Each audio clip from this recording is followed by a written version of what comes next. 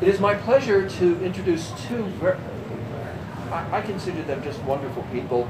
Frank, who has been pushing for approval voting for God knows how long.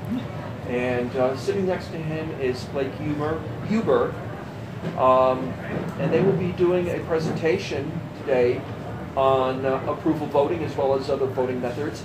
We will also be discussing, um, I hope we'll be discussing uh, Kenneth Arrow's uh, impossibility theorem. We'll, we'll touch on that and uh, related items.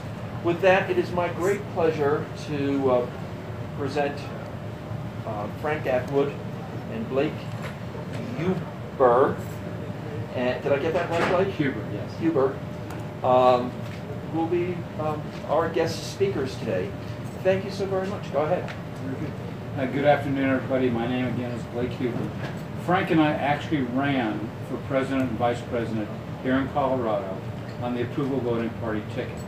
So it's my thanks to Frank to pulling me into this. Frank's been doing this, I you think about eight years. I met him about a year after he started, but I was working at the time. So now that I'm retired, I'm working with him full time. And approval voting is a very, very interesting and simple concept. Frank is going to go into a lot of detail and kind of into the weeds.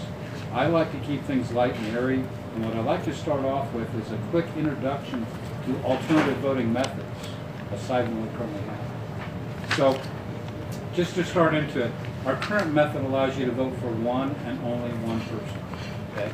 So you have to think about everything you feel about the candidates, the issues, the election. You have to think strategically. If I vote one way, how's this going to affect other things? All of those things are wrapped up in your choose one plurality system. And you have to express yourself, everything you think about the election, in this one single precious vote. Uh, different systems, there are popular alternatives. There's ranking, there's rating, and there's approval. And just so that we're all on the same page before Frank gets into the really nitty gritty of the different voting systems or into approval voting, uh, I'm going to give you an introduction. So first of all, ranking is very simple. You simply take each candidate and you say, I like this person number one. Of all the candidates, I like them the best. I like this person number two. Almost number one, but I like them number two. Three, four, and five I hate, so they're, they're there, but I have to figure out what I'm ranking, so I rank them three, four, and five. One of the difficulties for me with ranking is how do you differentiate between the ones you truly like and the ones you truly hate? And you can express yourself, you like this one better than this one, this one better than this one, these, uh, you can test this one more than this one, etc. But there's a gap, and you can't express yourself where the gap is when you rank them. Okay? There's also costs involved with ranking. We'll get into that a little bit later. With, the, with grading, you simply assign a score to each candidate. So this one, again, my first choice rates number five. My second choice, you know, I can also almost rate them a five. In fact, I will. So the first two are both fives. And you're not taking anything away from each other. Both are fives. The rest you rate three, two, zero, whatever you like. So in my example, the first two would be four, or four and a half, and five, and the rest would be zero. So in the first example with ranking, I call that one, two, three voting. In the second example, uh, example with rating, I call that rating, scoring, or Olympic judging. Okay? There's also additional costs to rating as there is to ranking over our current system. Now the last one, the last system that's popular as an alternative method is approval voting. So instead of rating, instead of ranking, you simply mark the ones you like, the ones that you identify with on the issues, the ones that represent your principles. You mark the ones you like, ignore the ones you don't, and the person, the, the one that has the broadest popular support, the candidate has the broadest popular support, or has the most votes, is the one that is elected.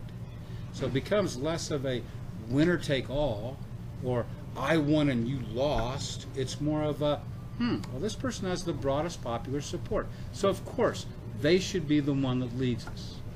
Now, in a, in a small group, like a club, if you're electing a president, And the accountant is the one that you actually elect as president, and the runner-up is a, uh, a nurse, okay? And she gets, it's like 50, 51, 52% of the vote, 49, 48% of the vote. So it's not a winner-take-all system. The person has the broadest popular support, the accountant, gets installed as president. But when tax time comes, the accountant says, you know, I have to resign for a few months. So do you have another election, or just install the person have the second most uh, popular support, the nurse, and she takes over for a period of time, then they flip it back. It makes things so much simpler. Approval voting is used, and Frank will go into this in more detail. I'll just touch on it briefly. It's used by organizations like the United Nations. I'm not a fan of the United Nations, but think of what they purport to do. They purport to bring people together. So if they're using approval voting, they truly want to have broadest popular support. They want to bring people together instead of divide them into factions. I also understand, I don't have proof of this, but I understand the Pope is elected by approval voting. Again, this is a group that wants to bring people together instead of split them into factions. So let me sum up by saying that of the alternative methods, they're all much better than what we currently have where you can only choose one. Because you can truly express yourself. You can say, uh, this person is best, this person is second, this person is third, or you can rate them saying that, well, I really like these two best, I like this one third, but it's a group decision, so it's whoever has the broadest popular support. And then approval voting is whoever actually has the broadest popular support is the one that is elected. It's as simple as that. Now let's talk briefly about costs, and then I'm going to turn it over to Frank.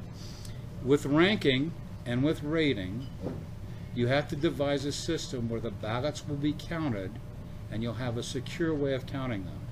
And Frank, are you going to talk about ranked? Um, no. Okay. So in ranking, um, there's a way to vote. If you vote strategically in ranking, the person you vote for may not be the one that wins. There's ways to do it. I'm not going to get into all the details. But if you go Google IRV, instant runoff voting, versus approval voting, IRV versus approval voting, you'll find a wonderful a demonstration of how that works and how the person you don't want to get elected can win. Some people said, don't agree with them, but some people said under IRV we can elect a Hitler. Okay? But let's take just look at the cost. The cost is you have to have a way to count the ballots, you have to way to finagle them in such a way they have to be counted at a central office because you have to have all the ballots together. Least ballots is eliminated, then least ballots is eliminated on the second round, least ballots is eliminated on the third round, and then you get to, you finally get to a winner, okay? With rating, it's not as bad, but there's still additional costs. With approval voting, we've checked with the voting machine manufacturers and city and county clerks, and they say there's no additional cost for the election. Of course, there's going to be some costs involved in educating people to let them know, yes, you can vote for more than one. It's okay. Each vote stands alone. And you're not going to betray your favorite. You'll never betray your favorite by voting for one, by voting for more than one. One last thing I'd like to say about approval voting is I call this conscience voting. So you can vote your conscience. You can vote strategically and you can vote your conscience. So thanks for your time, and I'll turn it over to Frank.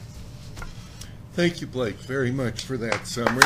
And what I'm going to do is be grateful for Celeste Landry having presented uh, already uh, previously doing a PowerPoint for League of Women Voters.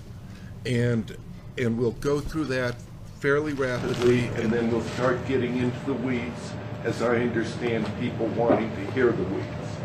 So, um, Celeste is not advocating support of approval voting, is how I'm going to state that. Or, The League of Women Voters is advocating more on-the-ground experimentation of alternative voting methods. yes. And that's, that's where we're headed right now with the approval voting effort. Um, on the next page, uh, what are the voting methods? Uh, a voting method is defined as the form of the ballot, what constitutes a valid vote, how, Of course. Second last. You, you just didn't. Okay. A voting method is not to be confused with an election system, which is concerned with whether or not to have early voting, all-mail election, or paper ballot. Thank you, Celeste, for making the distinction. Sometimes I get, uh, Page down. Thank you, Celeste. so, uh, what, what I'm focusing on is alternative voting methods. And primarily, the three that you're, we're currently hearing from most people are uh, plurality voting, approval voting, score voting, which is like Olympic judging, and instant runoff voting. On the next page here, let's say there were, in addition to brownies, there was chocolate cake. You could believe, if you wanted to, that the chocolate cake was being used as a sabotage element to brownies to split the chocolate vote. You know, you, you can't you can't let those chocolate people um, dominate, and the chocolate cake here would. Uh, To back up for just a second, Frank, the people who like chocolate. for the people who like chocolate, yes. Thank you for laughing. Okay, desirable attributes, uh, favorite safe, clone safe, adding voters only helps your candidate. You're glad you voted, and you'd be happier rather than not. So, I'm not that well versed on this, but I'm, if Celeste wants to go into it, feel free to. So there are different kinds of desirable attributes for any voting method. These are the tactical ones. So you want your favorite, you want to be able to vote for your favorite and not hurt your favorite by voting for your favorite. You, you want to, um, clone safe means if there's more than one that are the same. So for instance, Trump was very different from the other candidates. You might have called the others clones. Uh, you know, but they could all, they had to split the vote, so it, they, it, that was not a, plurality is not a clone safe uh, type. And then there's some other, adding votes only helps your candidate. In math, we call that a monotonic system. You're glad you voted. There's some voting systems where, voting methods where you prefer you hadn't voted. And this is the, getting into the aspects. And then there's desirable at, attributes, number two, voter turnout. Um, What, especially for libertarians, we want a nursery for third parties or lesser-known alternatives, uh, conducive to positive campaigning and candidates preferred by the most, most voters. Why I push for approval voting. Uh, Desirable attributes, number three, implementation, can use existing machines, simpler for voters, precinct countable, not relevant in Colorado, minimal ballot spoilage. With regards to precinct countable, here in Colorado, we're now focused on county countable, where at the county level, it's, it's countable, but you may not have specific precinct information from that, um, from those, those voters. Do you want questions now? Sure, go ahead. So, uh, but even if you don't care about precinct countable, you care about batch countable and you care about county countable. So it's the same, it's all the same, right? Yes, completely so. You care about countability and And, and that's what I, aggregate. what I like, uh, the, both plurality voting that we currently have is batch, you can batch it, you can batch and uh, Olympic judging, you can vote, batch approval voting, you cannot batch instant runoff voting. Instant runoff voting has to be fully consolidated and then proceed with the actual accounting of it. And to add what Frank is talking about, in my opinion, and I believe Frank's as well, the smaller the group that counts the votes, the less fraud you can have. It'll encourage less fraud. The larger the group, then any fraud that you engage in will have less of a blip and you can be more, it'll be more hidden. Okay? It's like crime in a big city, less known, crime in a small town, everybody knows it. So the smaller the group that actually counts the votes, the best. Um, Next page of website resources is approval, approval voting. I, um, is Center for Election Science. I listen to, um, often it's said that you need three aspects to a political movement. You need the intellectuals, you need the administrators, and you need the activists. And I'm letting the uh, Center for Election Science be my approval voting intellectuals. A Center for Range So, Vote. um, we should, for full disclosure. Yes. Uh, Neal McBurnett, who's here, is a board member? Board member of Of- Center for Election Oh, Science. you're that guy. Thank you, Celeste, for trying to keep me honest. Thank you very much.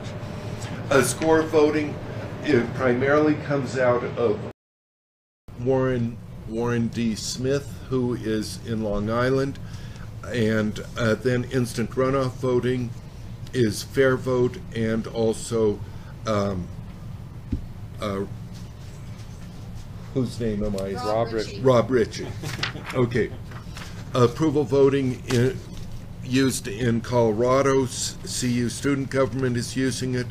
Uh, Representative Singer's carrying a bill this uh, January, and uh, I'm pushing it at the uh, election commission level at a home rule city of Littleton instant runoff voting uh, has has more history. I tell people I fell asleep and let voting get uh, a half half century head start on me.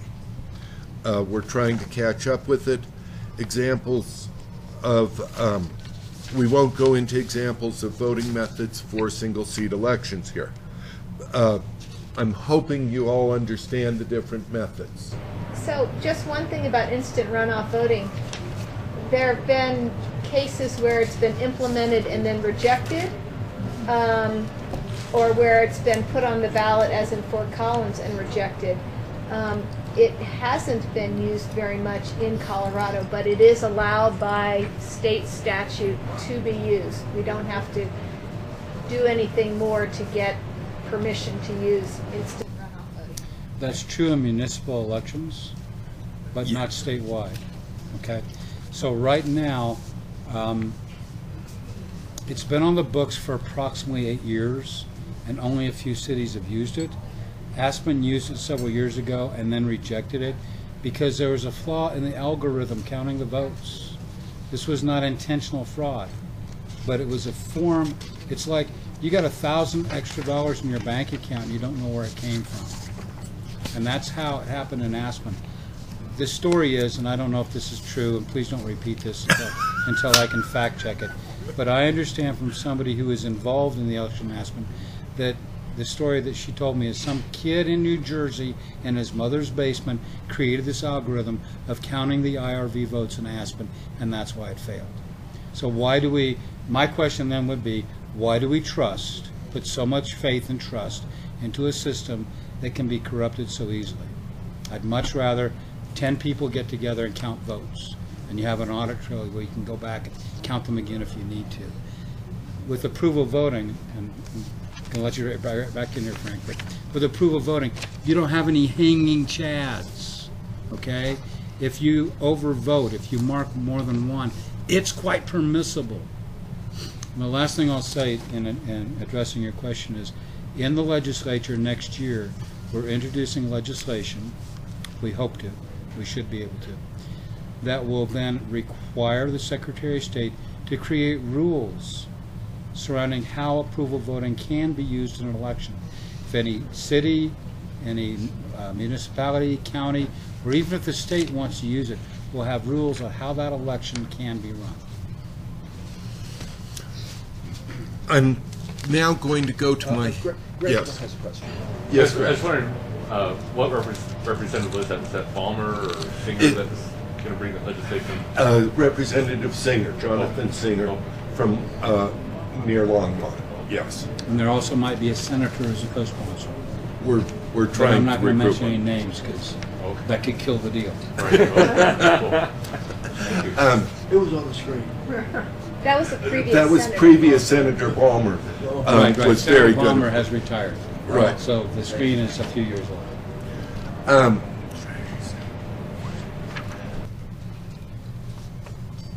By the way, I want to compliment everybody on questions you're asking as we go along. I prefer to have it a participatory thing, and I think Frank does too. Yes. But it's much more important that we understand what we're dealing with as we deal with it, rather than waiting till the end. So, I- I'd Surely, like- Celeste. So, one thing um, is that approval voting is just a very simplified form of score voting. So, approval voting is actually also a rating voting method. Yes, But and That You're correct. Rating yes, no, one, zero. Yes. It's that simple, yes. And what we like to do, and you can see on our shirts, okay? uh, Please. Mark the ballots, yay or nay. Oh, By the way, we didn't design this to, to be, having both the same shirt on, just happened to be. But you vote all the candidates yay or nay. Mark the yays, ignore the nays. Whoever has the broadest or most votes, most yays, is the one that's elected. It's that simple. okay. Have how many? Who has missed my arguments for approval voting? Because we can go through the list here. Let's of- go through the list, Frank. for Okay. People who are going to be listening to this on uh, Certainly. YouTube. Okay. Um, arguments for approval voting. With regards to the established parties, fewer spoilers and less sabotage, minimizing factions sabotaging their philosophical allies. This would be applicable both.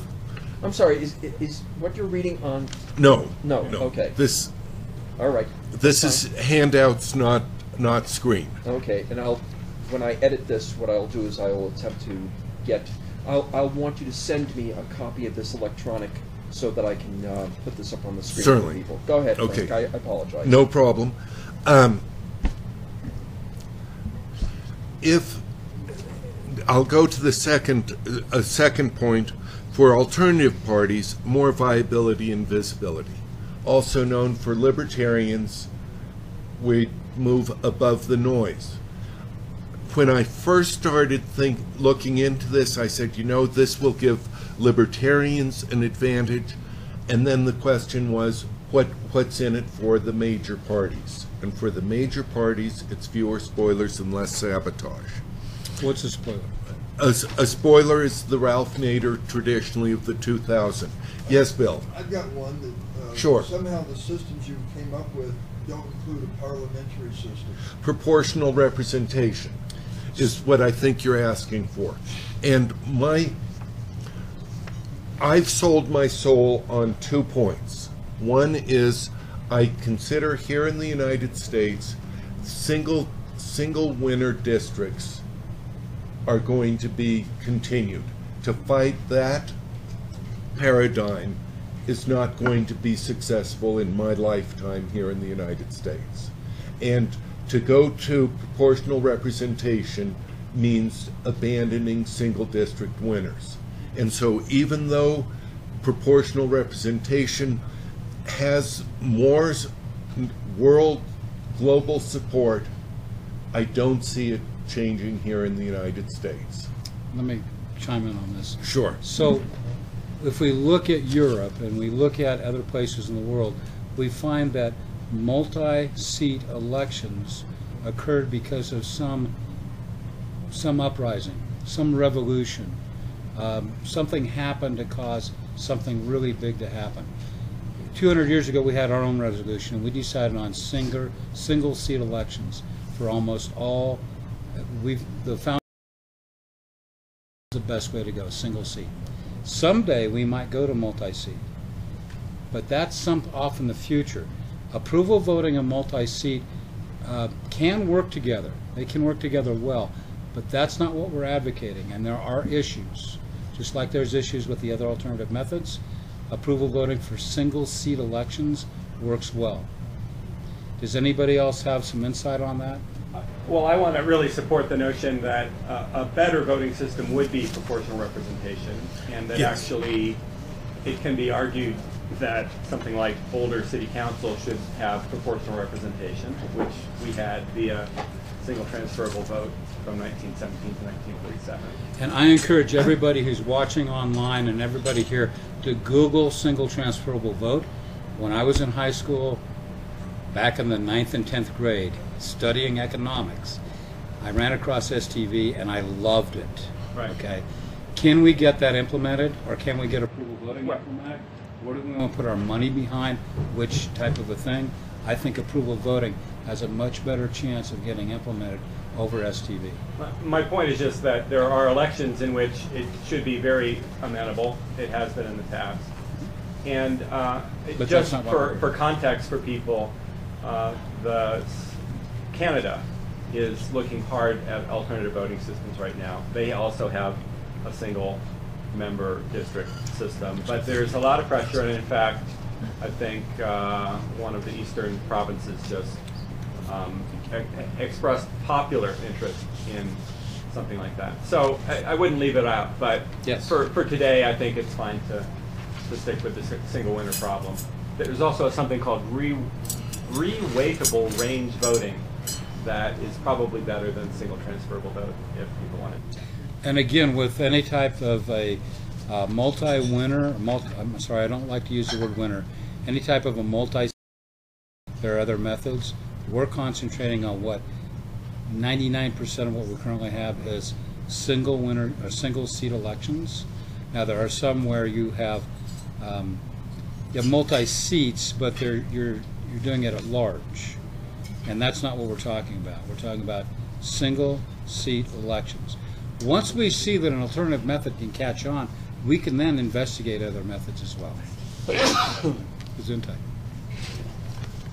Any other questions? Moving, continuing down the list of arguments for approval voting, we come, third one is voters more honest with less anger and frustration when presented with a dilemma or an anyone but candidate, such as I feel both as evidenced by the Never Trumper movement and the anybody but Clinton movements that we've just witnessed.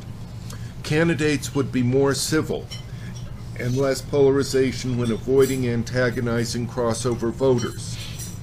Uh, the candidate's going to focus on the issues.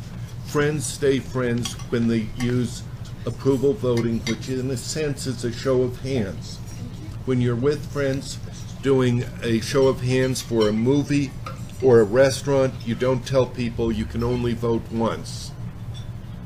You let people vote more than once nationally less trauma when there are spoilers. Uh, when there are spoilers such as Nader in 2000 or a disapproved candidate, this most recent one. Simplicity, no additional costs, simply change the overvote threshold from seats to be filled to candidates running. For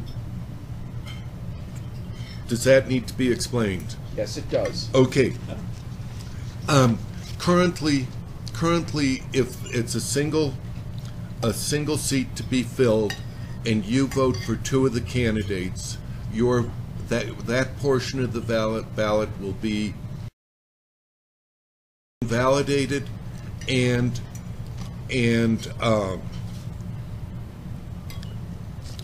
because you voted, and it's called an overvote when because you voted for too many candidates with regards to the simplicity of changing to approval voting instead of that overvote threshold being the one seat to be filled it's now the number of candidates letting you, permitting you to vote for all the candidates you want to. Uh, the instructions would change from vote for one to vote for one or more candidates or, or possibly the instructions might be one seat to be filled, vote for one or more th- than one candidate. Wasted vote argument. As libertarians, we confront the wasted vote argument so often. The question is, as dedicated libertarians, you come back with the response, my vote's never wasted when I vote my conscience and vote for it. Yes, for libertarians, that argument holds. For the other 96% of the voting population, no, it doesn't. They don't, they don't vote. They, they are concerned about wasting their vote. I'm going to let you take a breath for just a moment. One of the things about alternative parties and alternative parties getting recognition, and I really don't care if an alternative party ever wins. I don't care if a libertarian or green ever wins. But what I want to do is I want to reduce the concept of shame. So, right now, if you're an independent and you run, why did Bernie Sanders not run as an Democrat? We engage, the populace engages in shaming. So if you don't run as an R or a D, shame on you for running as an independent. Shame on you as running as an alternative party candidate. Nobody's going to vote for you. You have no chance of winning. Shame on you. With approval, you can vote the establishment party if you want to, and you can throw some approval towards another candidate. And one of the things that Frank has already mentioned, I'd like to amplify is who's next? Okay? So if Mary is running as a mayoral candidate, she's 19 years old, a lot of good ideas, a lot of passion, a lot of fire, and she really could do a good job as mayor. But the banker Joe, who's in his 50s, is the sure, the sure winner. Okay? So if Mary gets in and Joe wins with 50 or 60 or 70 percent of the vote, and Mary gets 30 to 40 percent approval, it's because yeah, we're going to vote for Joe. He's a good guy. Yeah, we want to get him elected. Yeah, he'll do a good job. But Mary, we want her to run again next time. And when Joe's ready to retire, we think Mary will be the top contender. So you throw some approval her way. Does that make sense? Does anybody have any questions? I know I'm interrupting what you're uh, Blake's covered the shaming argument on it with regards to approval voting. Also, with approval voting, there's fresh ideas and candidates more likely to surface in the marketplace of political ideas, and there's less ballot spo- spoilage. Uh, yes, I- I'm sorry to go back to this shaming issue. If your vote is truly secret, where is the shaming? I mean, who's being shamed? Is it the candidate? Yes. Or is it the voter? the candidate, both the candidate and the voter. Okay, so if you as a voter express yourself to have some feeling, good feeling about a Bernie Sanders who's an independent, people say, well, he doesn't have a chance to win as an independent. He should run as a Democrat. Shame on him for running as an independent. And my question to this group and to everybody watching is, why did Bernie run as a uh, as a Democrat? Why didn't he run as an independent? He did not want to take votes away from his intellectual ally, Hillary. Had he run as a an independent, he would have taken votes away from her under our current system. Uh, some people say he may have won. Uh, some people say he was a good candidate and he shouldn't have dropped out. He should have fought it right to the end. Some say he was cheated. With approval, with an approval voting type system, you're not going to see that.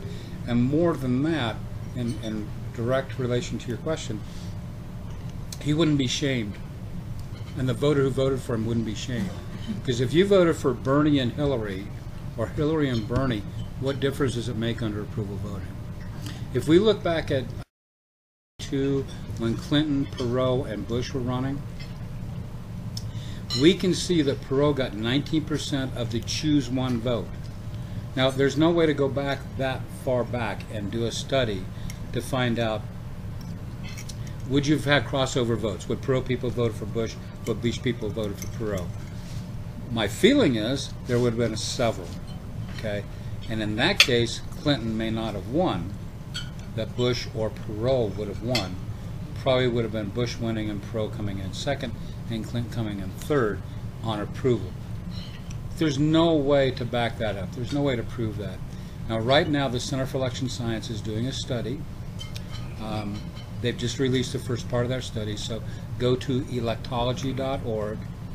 You're going to click on a blog post that says Smart Voting, and you're going to find a lot of information about how approval voting in this last election, how they've been able to do a study on individuals. And we do have some information, I think it's going to be in the description of the YouTube video.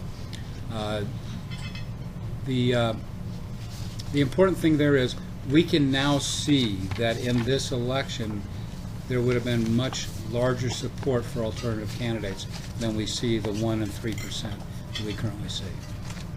Did you get enough to eat there, Frank? Yes, okay. Trying to help.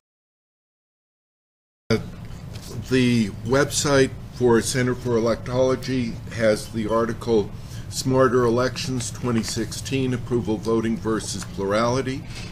And in it, there'll be a, a table that shows with our current plurality system, uh, Gary Johnson got 3%, and with approval voting, when they polled more than a thousand people, he would have gotten uh, 21%, sevenfold Wow. response for uh, one in response to the wasted vote argument, also in response to the to the shaming question of did he steal votes away from either Clinton or uh, Trump?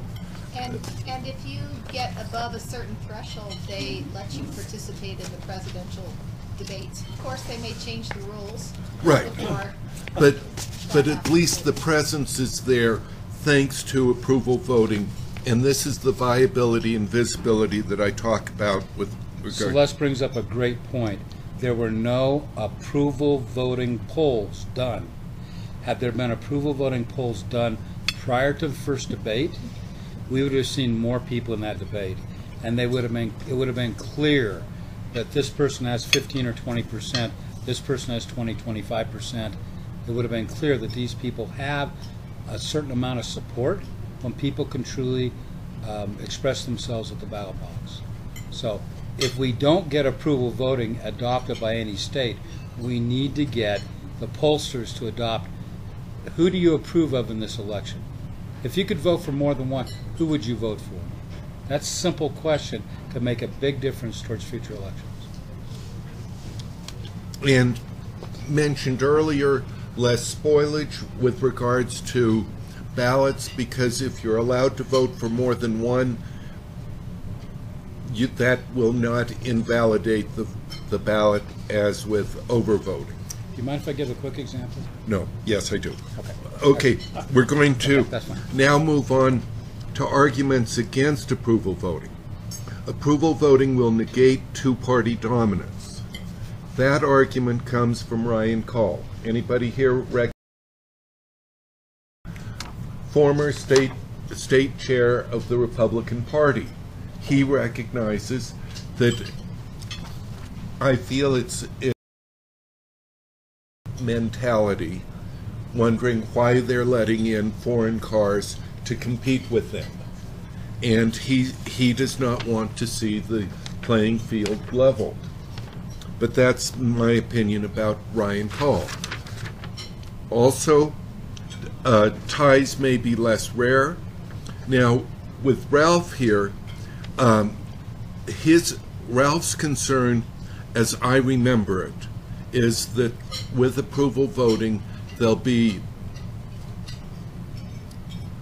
there'll be an accurate number for what the libertarian support might be, and it might be far less than what they currently think we might have. And that, that they, meaning the major parties, would have less respect for the libertarians with approval voting because they now know that be able to say you're you're more of a um, Fringe. more of a fringe element. I feel Gary Johnson getting 20%. You can still label him a fringe element, but at least at 20% he's worth, um, he's on, on the field. Um, Ava is concerned about counting the votes. When I talk with the uh, Ava? Ava, um, or Ava, Eva. Eva, Ah, Eva, sorry. Kaczynski. Kaczynski, I'm sorry. Eva Kaczynski is concerned about the mechanics of counting the vote. When I talk with clerk and recorder in Arapahoe County, he's not that, he's not concerned. He feels it'll be the same, uh, basic same method as we currently have. Uh, and that their machines can handle it with no additional cost. And uh, from a campaign, Republican campaign manager, his concern was that it makes controlling the outcome more difficult. And, um, in, which in my mind means that somebody besides the Republican or Democrat's going to win. He, he wants life easy. He wants a two-party system. I'm sorry, I'm going to correct you. A two-party duopoly. Duopoly. So, what we, we fight constantly against the concept of monopoly. There are natural monopolies, there are government-supported monopolies, like utilities and telecommunications companies. But in the, in every other aspect of our lives, we do not encourage monopolies. And our current system, our Choose One system, not only encourages monopolies, it incentivizes it. So, under approval voting, each individual candidate, each party has to earn their vote. Just like I have to earn what I get paid by my employer. Just like my employer gets to earn what the business makes based on what people like about the product. So, isn't that American to have to earn your support? And isn't our current system incentivizing not having to earn it, but just getting it? And one other quick thing I'd like to say about what our current system does is it incentivizes bad actors. Now, this vote splitting thing, uh, Frank mentioned it. I think it really needs to be developed more in terms of how we think about it. Because right now, if Frank and I are running against each other, and let's say I'm a communist or a socialist, and Frank's a true diehard libertarian, and we really differ, and in our community, whatever that is, is we're splitting the vote half and half. Or let's say Frank is pro-bridge, wants to build a bridge across the river to get more business into the town. I'm anti-bridge because we're financing, we're mortgaging our children's future. So what happens is somebody comes in and hires somebody to go against me. Somebody that acts and talks and thinks like me. So if, if he's pro-bridge and I'm anti-bridge, and you want to split the anti-bridge anti-bridge. And then the pro-bridge people or the bridge builder who comes to town wants to finance the campaign of the anti-bridge interloper. Once we split the vote, the pro-bridge vote wins. And the, the builder then gets to build the bridge. Does that make sense? So in splitting a vote among intellectual allies, the other person wins. And so if somebody comes in as a communist, runs against me as a communist, then he's going to win. Now he may not know anything about it, but we've we've actually incentivized a bad actor to come in and hire somebody to split the vote, so the the vote that he doesn't want, okay, so that the one he does want wins. That's not illegal. It's immoral, and that's the biggest reason I'm for approval voting. And this ties back to Celeste's discussion of clones, that clones subvert the election process in our current system. And, and at this point, I want to just get, take questions, yes. Celeste, I don't mean to be putting you on the spot, but do you want to um, explicate this uh, Frank's last statement about clones? Um, I s- thought I sort of did that when I talked about the non-Trump candidates. Trump is unique, and the other candidates were not Trump, and they split the vote. And Trump, So the Won cl- so various clone is- primaries. the clone is not a clone of Trump; it's a clone of the other candidates. the other candidates, it's the two anti-bridge candidates that Blake was talking about. But this is brilliant. We needed a Trump clone. That's what we needed. So what's interesting is Republicans have told me that if we, they used approval voting in their primary, Trump would have been number eight. It would have been the top three: Kasich, Rubio, and Cruz would have been duking it out. Okay, but the broadest popular support probably would have been those one of those three, and Trump would have been about number eight because he doesn't have broad popular support. He has. We did. We actually did. Do you want to talk about Western Conservative Summit? I'll pass. Okay. So we actually did a study last year at the Western Conservative Summit where they actually did a comparison between approval voting and plurality voting. Everybody could vote for who should be who should Trump choose as vice president. And a core group of very strong supporters for Newt Gingrich got him to win when you could choose only one. But when you had to choose as many as you like, double the number of people, double the number of ballots were marked for Ben Carson. So Ben Carson had broad popular support. Um, again, this is a conservative religious group. Uh, he had broad popular support, where Newt Gingrich has a very tight cadre, and all the other people, there were like 10 or 12 different candidates, Yes.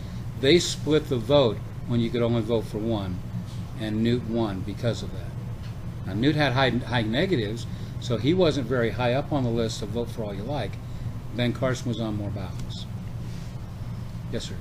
I, I can see how this works well for that setting, like for nominations, sort of on the way up. Yes. Um, But let me see if this makes sense, or this is fitting with the shaming thing. In the, in the last election, presidential election, the only candidate I could have voted for was Gary Johnson. I couldn't vote for any of the others.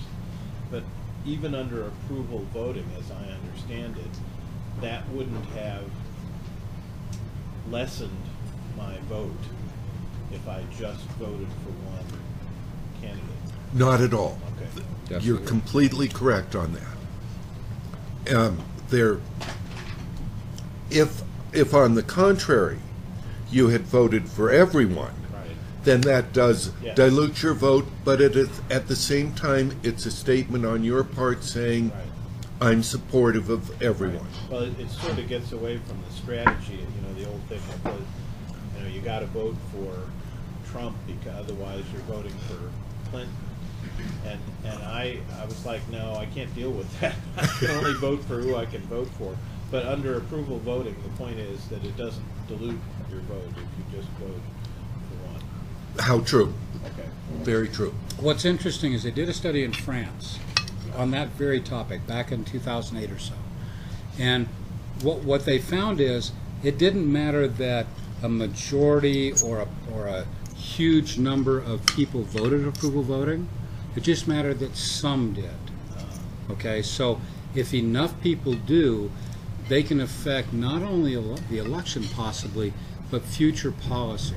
So think about this. If you vote, if you bullet vote, that's what you did, you bullet voted for one candidate, okay? So if enough people who also voted for him voted for somebody else, and the other person they voted for actually won, let's say, let's say it was Trump that they voted for and Gary Johnson that they voted for. So they voted for Trump because they thought lesser of two evils, got to vote for him, blah blah blah, and they also threw some approval Gary's way. That tells the winning candidate or the candidate that has the broadest popular support, dude, look at what other people are saying. Look at who else got support. These are the policies we want you to follow. We know you had all the money, you know you had all the votes, but the policies that are important to us are what this guy was saying. So I'd like to tag team onto that. Um, you were talking about arguments against approval voting. Yes. And there are two kinds of arguments against approval voting. One is just versus plurality voting, and one is versus other kinds of voting. So uh, the argument I've heard Rob Richie use when he compares IRV to approval voting is that too many people will just bullet vote. Um, and that's an option. You can always just vote for one. You don't have to vote for more than one if you don't want to. Um, and my understanding is that approval voting advocates say that's okay. that's not an argument against it, and I noticed you did not write it as an argument against um, on your list. Right. thank, thank you, Celeste. I'll incorporate that. Good Thank you. feedback. I'm gonna raise my hand. Um, Yes, Ralph. Would you like to hear against approval voting? Yes, yes, please. There's a wonderful book that I read many years ago called The New World of Economics. And it's a hard book to find. And one of the arguments they make in that book, and they, they were not talking about approval voting, they were talking about um, the economics of how candidates approach the uh, approach elections. A candidate who wishes to win uh, will take a position or positions which appeal to the greatest number of voters. So one argument for the current system, not that I'm saying that I approve of that of this system, but one argument for it is that you will cause candidates to go to the center, and you can see this um, in elections routinely. Um, during the primaries, the candidates tack to the left or right to, uh, to appeal to the greatest number of uh, voters who are Democrats or Republicans. And once they get the nomination, you can see them tack to the center. Um, I don't think Trump did this, but nonetheless, that's uh, one argument for not having approval voting. Because the opposite of that statement, which is that if you have um, a system that causes candidates to go to the center, you that in some senses is a public good. You want people to approve to be appealing to the uh, you want to appeal to the greatest number of people, and thus your policies will appeal to the greatest number of, of people. The problem, of course, is that once you get elected, you may not implement those policies, but there's a, uh, a prisoner's dilemma type of a repeated uh, re- prisoner's dilemma type of argument, which says, well, if you don't tack to the center, if you don't appeal to those voters as you ruled or as you were elected, then you won't win the next election. If you have approval voting or other systems, then there's much less, and I think this is a fair statement, there's much less reason for candidates to tack to the center. Whether that's good or not, I don't know. But if you wish to have a government that is not of extremists, perhaps that's the uh, uh, the right thing to do. I don't make a. Go ahead, Blake. What did you just say? If you don't want a government led you- by extremists, then you want our current system? Yes, you want So what we currently have, we currently have is a system that says, if I sound like the other person running, then how do I differentiate myself from them? And in marketing, I want to differentiate myself extremely from my, my, my opponent. So if I'm a moderately right-wing person, I have to appeal to the far right wing to appeal to my to my core, and my opponent has to appeal to the left wing. So our current system drives us to the extremes. Think about. I'm not going to use that example. Um, I, I think that uh, that Let- argument is wrong. let me suggest to you, Okay. and I have mathematical proof if you'd like to see it. Sure, sometime. go ahead. I don't have it with me. I can't, I can't do it. But, but think of it this way Would Ronald Reagan have won under any system? Was he popular enough? Did he appeal to the center or to the extreme? That's a, that that's a rhetorical question. In my impression, in my opinion, Ronald Reagan would have won under any system we could have devised because he had the broadest popular support. So what you're what I hear you saying is we don't want this muddy middle because we don't know what it's going to be like. But yes, we do. We want the person who has the broadest popular support. We want the person that really gets the most people to the polls, the most people to vote for them, whether or not they're number one or not. Okay? But right now, if you think about it, there are people who say, I don't have any proof to this, and I can't really say it myself, but there are people who say, Trump's not a Republican. He's just a Democrat that took on Republican ideas so that he could win. And it was all about winning. So our current system says, you must win. It's us versus them. We must bury you. And approval voting says, come on along. We want to see us the broadest popular support. And if you're concerned about people coming to the middle and not, not producing, that's the same as them on our current system going to the extremes and not producing and not doing what they say they're going to do. But if you had a Ford, you want a Ford that appeals to the most people. Ford wants to build a vehicle that appeals to the most people. They're going to find out what people want most. And yes, they're going to go to the middle because that's where their market is. Chevy's going to do the same thing. Jeep is going to do the same thing. It doesn't matter. So if, and I know I'm going on longer than I meant to, but if you have a brand, a Republican or Democrat brand, you want that brand to stand for something and you want to appeal to people who come to their brand rather than just appeal to the extremists. Is there a question? Yes, there's Neal McBurnett. Hold, Oh, I'm hold- sorry, Hold for Frank. just a moment. I, I think I'm going to suggest, Ralph, that the initial positioning of candidates that we have in our current system requires to to win. In order to win, you have to start at the extremes and then tacked into the center. What approval voting would permit is a candidate to begin in the center and continue in the center. And that's why I feel we as libertarians feel ourselves being squeezed out of the center.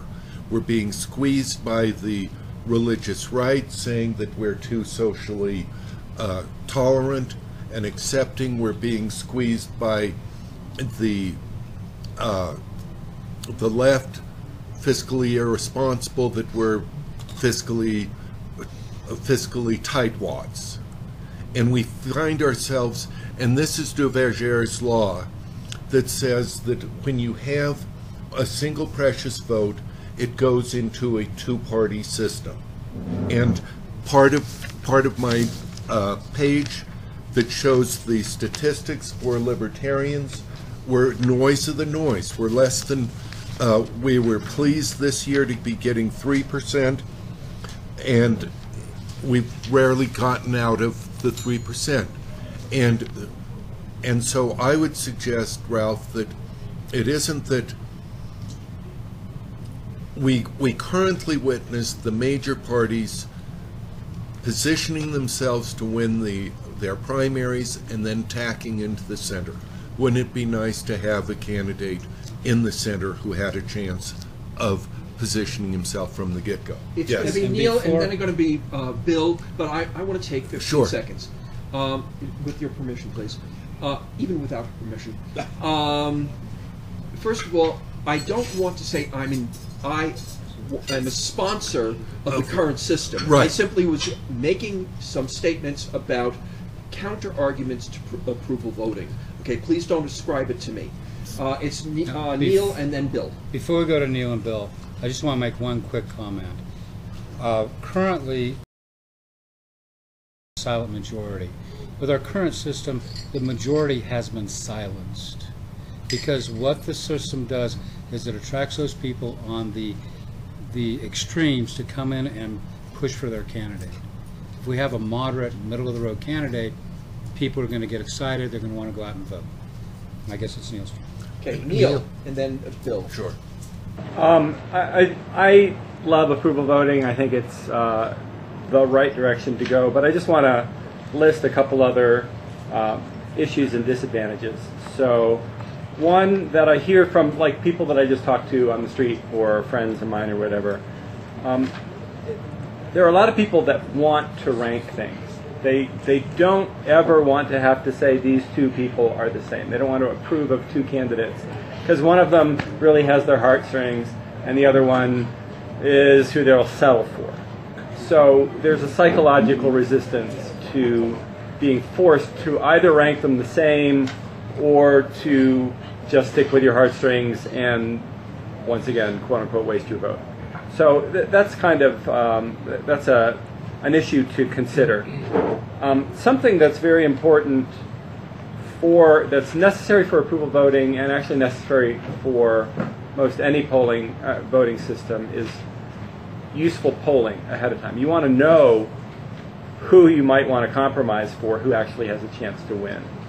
And so um, that's something to recognize that's con- sometimes considered a problem for approval voting. If you were voting in a local election, you might really have no idea where to draw your line, who has a chance of winning that you should support. But uh, it kind of underlines the fact that in approval voting, you can clearly vote for your favorite. There is some question whether you want to vote for anybody else. Because if you vote for somebody else, your vote might be the one that allows them to beat your favorite. So there is that concern, which is not shared by instant runoff voting. But the problem with instant runoff, as you noted before, is really a worse problem, which is you don't know if you should vote for your favorite because that might cause you to end up with somebody who's way worse than somebody you would settle for. So polling comes into this, and those are just kind of dicey aspects of elections in general. So just wanted to offer that. Bill, before you start, can I take 15, uh, 15 seconds? You did it last time. I know, but I'm asking you've your inter- permission. You've interrupted me twice. so I'll, let me go ahead and do it this time. Uh, Berkeley, are you familiar with how Berkeley selected their mayor? Uh, was it a instant runoff? Whatever it was, the candidate they got was a milk toast with no leadership capabilities. Uh, it was a real. It was. She was everybody's second choice, and she has no skills I in think- leadership. I think she campaigned for, to be everybody's second choice. Yes, This Berkeley or Really? Oakland? Oakland. Oakland, yeah. Oakland. And uh, and my brother just, you know, it's- this this person has no skills at all as a mayor, and Oakland's a tough place to be mayor. And what system did they use there? It was, IRV. It was IRV. Instant Thank you. runoff That's voting, yes. Okay, and and and actually, when you said that Ben Carson uh, came out ahead at the uh, uh, Western Summit, I took that as a strike against approval voting for the same reason. You have of, to, I'm of- sorry. of somebody that everybody likes, but just has no leadership ability at all.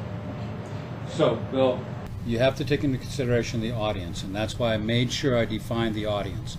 So, for this audience, they would like somebody who maybe doesn't have leadership skills. They're more comfortable with him because they know he's not going to do anything bad that will hurt them. That's not our our general voting population. Okay. Absolutely. So they are a specific group. Now, Newt Gingrich, on the other hand, is somebody that would do things to help them. Okay? But he has high negatives among the general voting population. I want to say general population, that doesn't have the right connotation. But um, you have to judge your audience. Now, if in approval voting, the group votes for a particular person, broadest popular support if somebody has no leadership skills, maybe I'm in the wrong group. Move out of Oakland. Sorry, sorry, sorry, sorry. Maybe, maybe if this person now, an instant runoff voter, she won by an- a problem with instant runoff voting.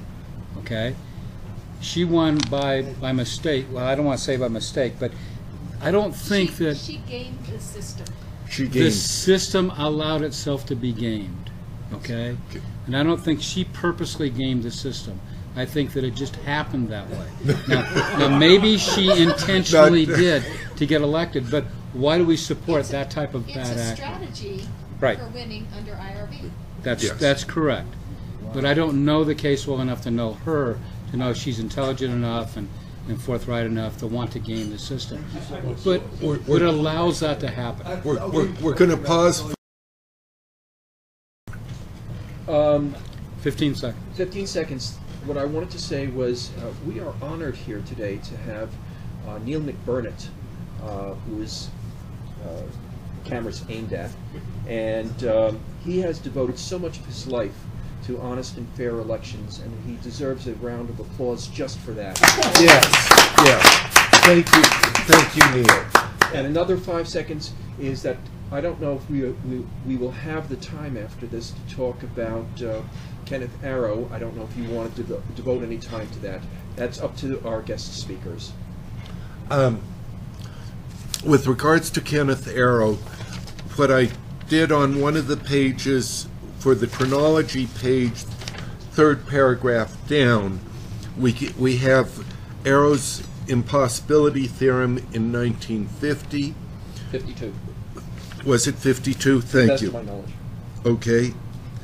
Um, Duverger's law, Uh, Duverger, could you Duverger. please spell that for the people in our audience? D U V E R G E R apostrophe S, Duverger's law is first articulated in 1951, and when I looked for refute, refute, refutations of Arrow's theorem, I found a philosophy person that wrote something in 1991, and also um, Warren Smith with range voting in 2000 and 2008.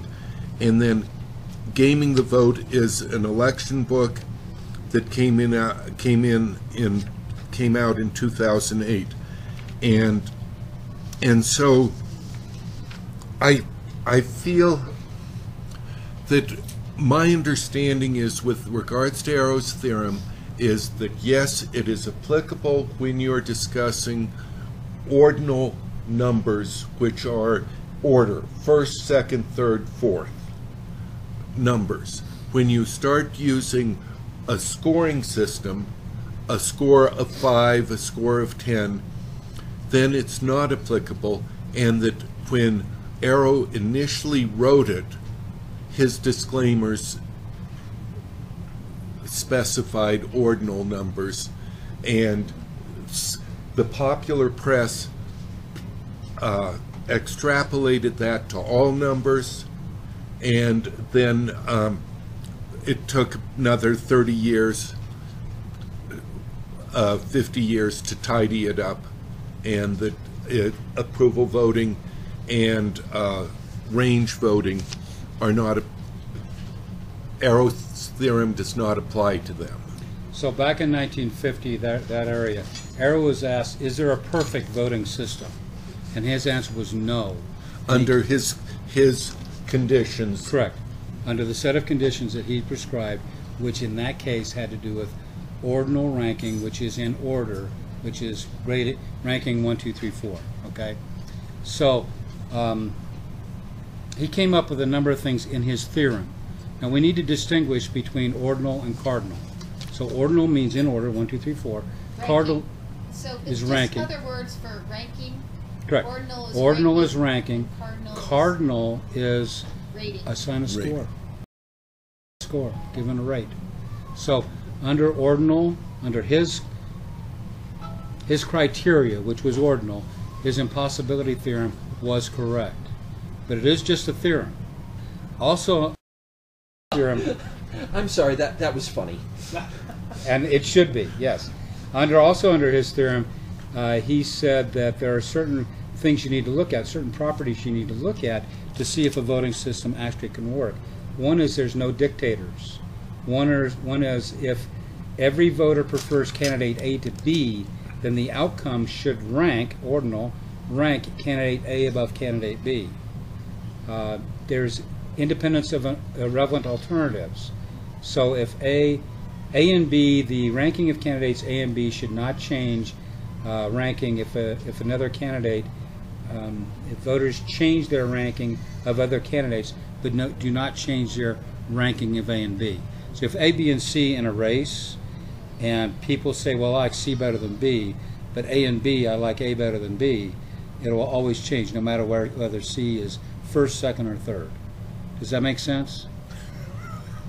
This is why we didn't. This is why we didn't really get into Arrow's theorem. It's a good thing to Google and to look at and to study and to be interested in.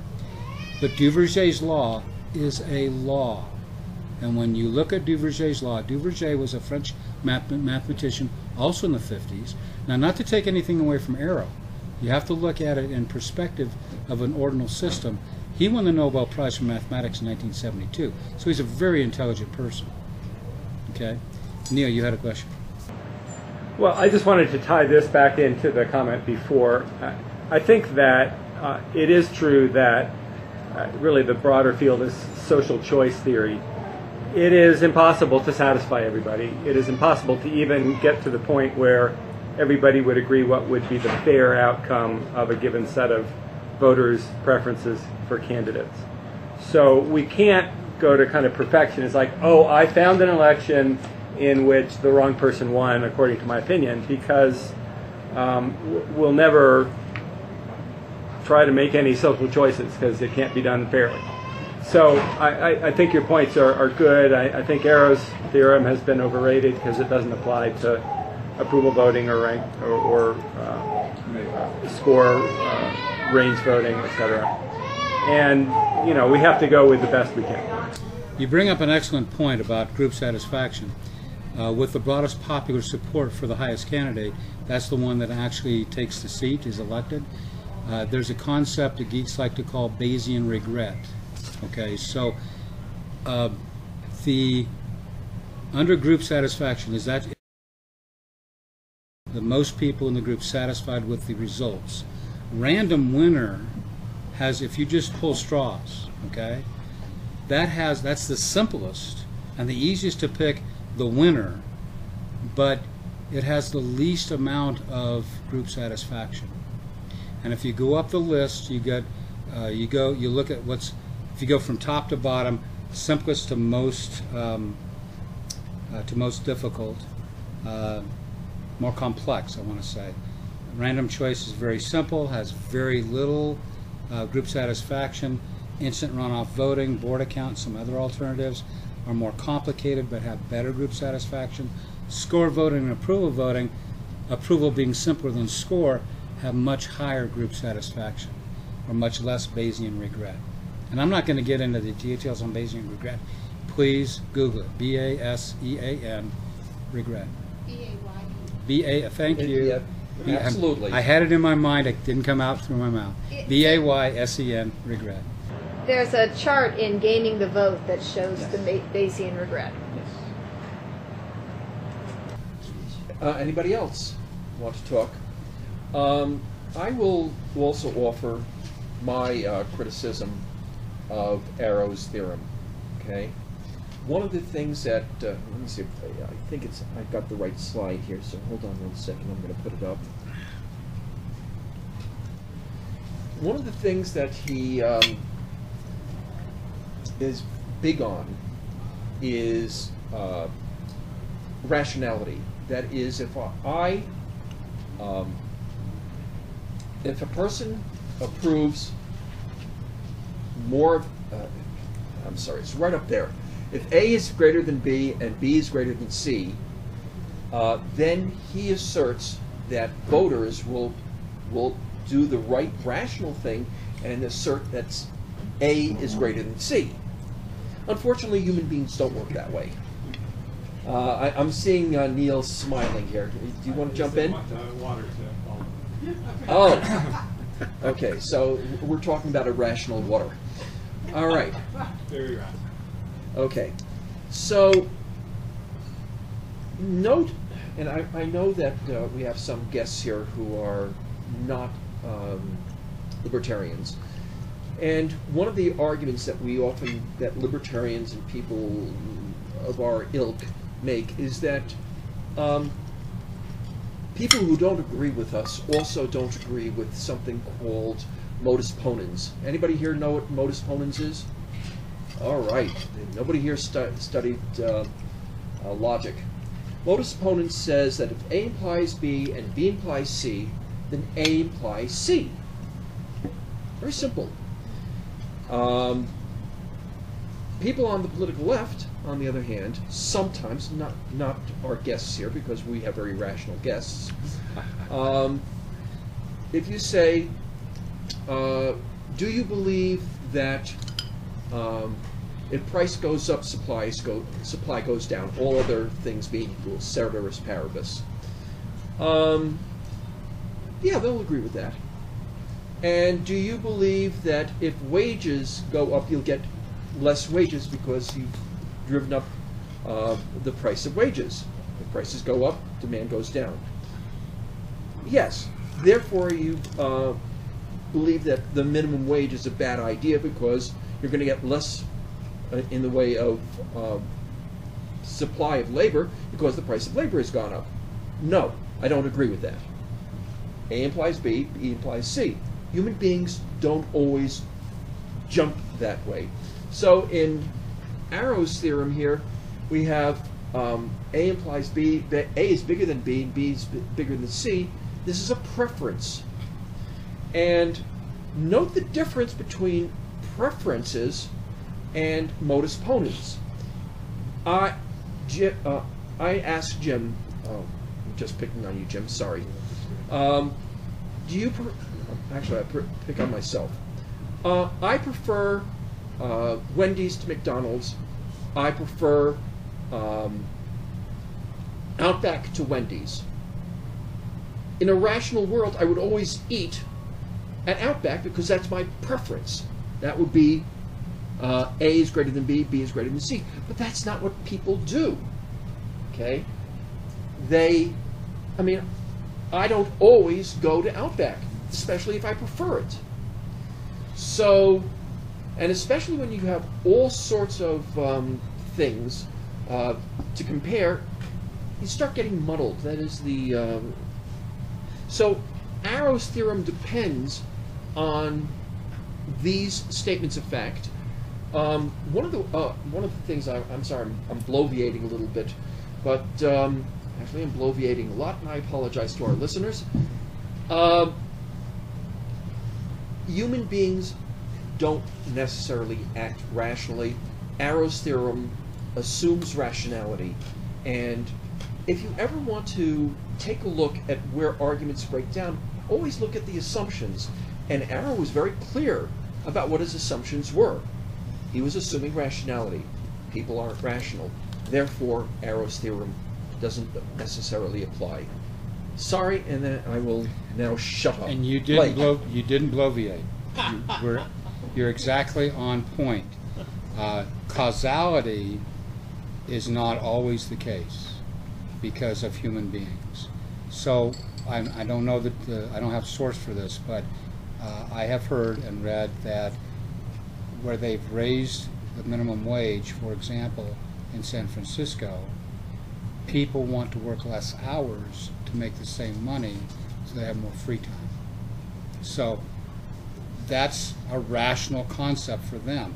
But if we look at cause and effect from an economics point of view, raising wages, raising prices creates uh,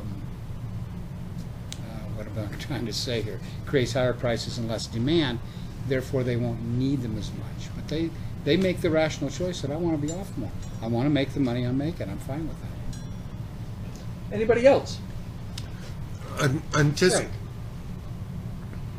in my mind, currently, there's, for viability and visibility of libertarian ideas, three basic ingredients are needed. One is ballot access, two is debate access, three is an alternative voting method. If you are at all involved with with any faction other than a mainstream Democrat or mainstream Republican, those three elements are needed in order to change the current voting uh, outcome. And uh, I'm going to come back to here in Colorado, I'm grateful for ballot access. The fact that Blake and I were on the ballot with the approval voting parties evidence that we're, in my mind, we are spoiled here in Colorado with regards to ballot access. With regards to debate access, uh,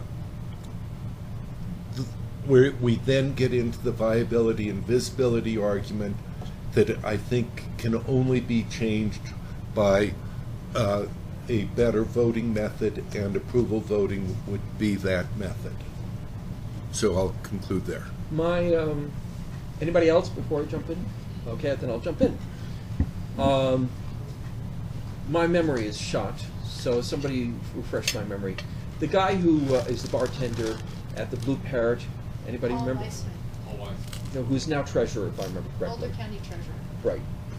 We owe the Libertarian Party, the Greens, uh, owe Paul Weissmann a huge amount. Uh, we are indebted to him because he, about 15 to 20 years ago, worked with the Libertarian Party and a coalition of other minor parties to give us ballot access. And so, yes, Frank, we are quite spoiled. So, thanks to him, and uh, I'll send him a, a note if I can find him and say that I said thank you. Maybe he won't uh, have the assessor tax me as much. Um, eh, it wasn't a good joke. Anyway, um, do we have anything more that we want to say about this, or do we want to wrap up? Uh, I have we've, just- gone, we've gone for about one and a half hours. I just want to mention a couple of things we haven't touched on. Right now, our current system encourages voter frustration and anger. My guy didn't win. Uh, in a HOA election, why did you vote for her? She's an idiot. Why did you vote for him? He beats his wife. So we get into this Did he get more factionalization. votes? Um, Sorry not- about that. We're not going to go there. Okay, Does, it really doesn't matter who the winner is because it's not about us versus them. It's about all of us. So with approval voting, I could have voted for him and her, and you could have voted for her and him. And all of a sudden we're saying, "Oh, I see you voted for her. She's got some good qualities." And the other person says, "Oh, I see you voted for him. Yeah, I kind of liked him too." It doesn't matter who won.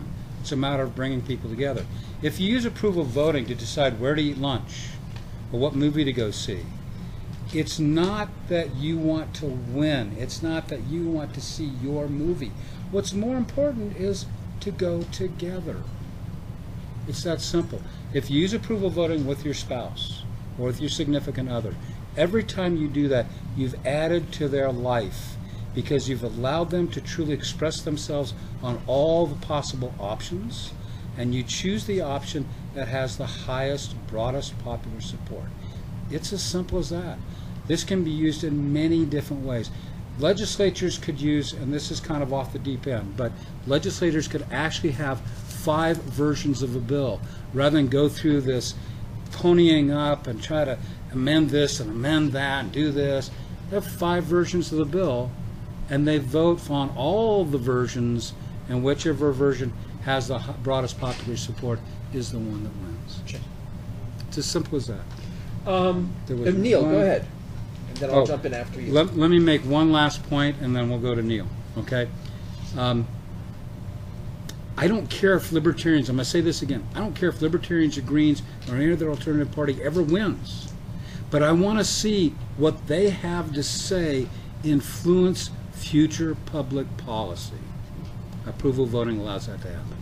Neal.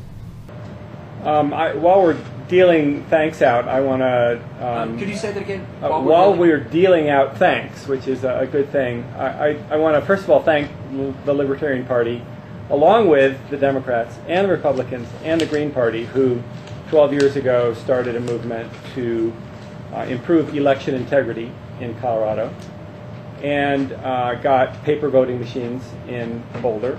And that was a joint effort doing the right thing. And I want to report that we have actually made uh, remarkable progress since then. Remarkable when you think about how politics usually works.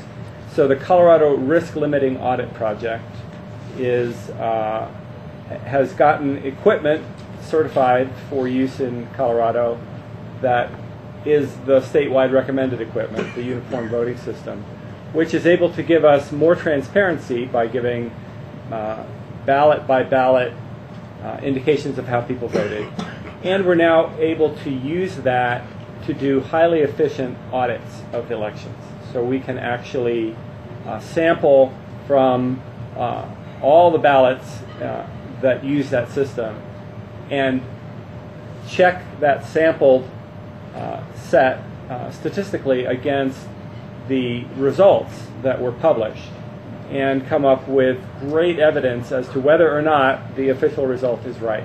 That's a complicated way to say it. Trust me, it's a complicated uh, thing to try to be precise about statistically. But the point is, Uh, if we can get the Secretary of State to adopt good rules for how to do risk limiting audits, which is uh, the law, and we now have the means to do it, and it's going to be required by 2017, we will be able to uh, look at the paper ballots and see if they support the outcome.